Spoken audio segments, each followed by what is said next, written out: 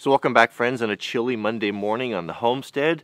So I've got, I guess we've got some, some bad news uh, and we've got some, or I have, it's not your bad news, and we've got some, uh, some good news.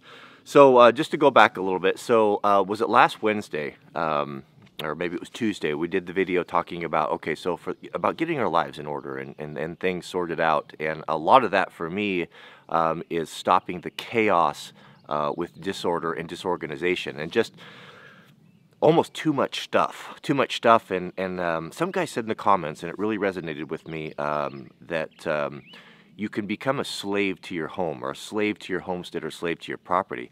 And I've given that a lot of thought. And Mrs. W and I have been talking about that and we are going drastic and we are getting rid of everything. you know, I mean, we're not uh, uh, selling it and, and going and joining the Bhagwan. I'm just talking about uh, paring stuff down so that our life is not so overly complicated. So back up a little bit. So Thursday was the first day of this uh, of the reconstruction of when uh, Jack and I we took the day and our goal was uh, we're going to look around here. We're going to do finish up all these unfinished projects and and what how we knew what to do was what we didn't want to do. So part of that for me uh, was getting myself uh, fit in order and uh, what I was uh, resolving to do was I was going to run. I was going to start running and I hate running. I'm not a runner. I don't come from that background. So what I figured, and I probably should have did a little more research on it, was I'll I'm going to start running three miles a day, um, and I'll alternate. I'll run and then and then I'll ride my bike for 10 miles, you know, just to kind of mix it up a little bit. So I was really enjoying the running, and I ran for two days in a row and the third day I was going to ride my uh, bike and then I got on the bike and you know didn't have quite the right pedals and you know anyway. I'm like well I'll just run instead. So that was three days in a row.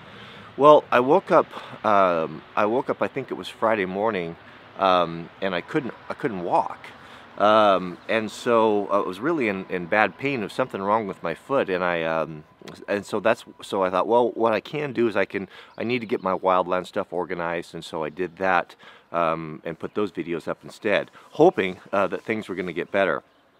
Well, uh, it's not getting better, and I've done a little research, and I think what I've done is I think I've, I've broke, fractured my foot. Um, Mrs. W and I are going to go in today uh, for the orthopedic to see uh, an orthopedic surgeon and get an X-ray and find out what's going on. But I, I, I, almost can't walk on it, and it's it's just not getting any better. I, I have been taping it up. I actually I taped it up yesterday with a bunch of duct tape, and and Jack and I went on a dirt bike ride, and I had I had to cut it short. Even with those boots on, it was um, it start it was becoming a real problem. The really bad news is that I was scheduled to do uh, the pack test today for wildland firefighting. That's the last hurdle that I need to cross to get my red card this year.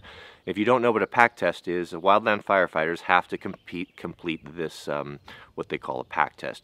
You have to be able to do three miles with, um, I think it's 45 pounds or 50, a 50 pound pack in 45 minutes. It's not a difficult thing to do if you're in reasonably good shape. Could I do it? And I'm waiting that, I'm, I'm, I'm trying to make that decision right now. Could I just tape my foot up really tight and just suck it up and go down there and do it? I'm not opposed to doing that, but the thing that I'm, I'm worried about is, is that going to put me out of commission for the whole summer? Um, am I going to exacerbate that? Am I going to um, I'm going to make that a lot worse? Mrs. W is of the opinion that I will, um, but she's my wife and she worries about everything, you know. So I'm to have to make that judgment call here in the next 15 minutes or so because I've got to be down there um, in an hour.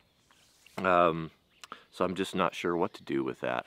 It, um, if, if what's wrong with my foot, if it's uh, what I think it is, um, that might mean uh, crutches for uh, for several weeks, and that's um, I, I, just that's going to seriously put a put a damper on uh, wildland firefighting this summer, as well as many many other things.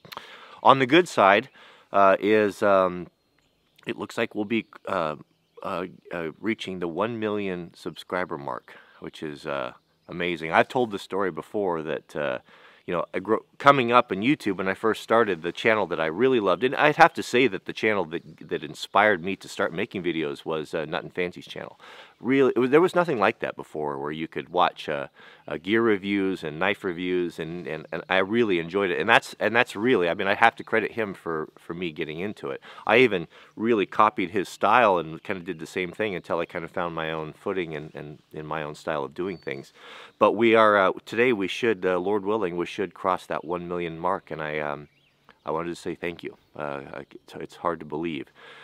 Mrs. W is beyond the moon. She was up all night watching the live count and she's buzzing around here and she's very excited and uh, she's insisting that we have a, a party. So um, she's working on that, and that, that is to be announced, but will probably be something in Portland, Oregon, uh, coming up relatively soon. We're just looking for some sort of a venue that could uh, accommodate any those people that want to come. Uh, but I will be making an announcement on that. So we will be looks like we'll be having that um, that one million one million subscriber party. All right, so I only what I ask from you guys is uh, please keep me in your prayers, and we will. Um, um, I'll let you know uh, what the outcome is as soon as we find out. Um, maybe it's not as bad as I think it is, but uh, I'm very disappointed. Very disappointed. I've I've never had any any. Um, I've just never had any injuries before like this before, and uh, um, it's hard to even believe that it's happened. You know, it's like, no, it's just going to go away. It's just going to go away. But I, I, I think if I try to do that pack test with that weight and that, that exertion in my current condition when I can't even hardly walk is no good is going to come out of that. So please keep me in, keep, keep our family in your prayers. And, um, and, uh, well, we'll see you guys on the next video.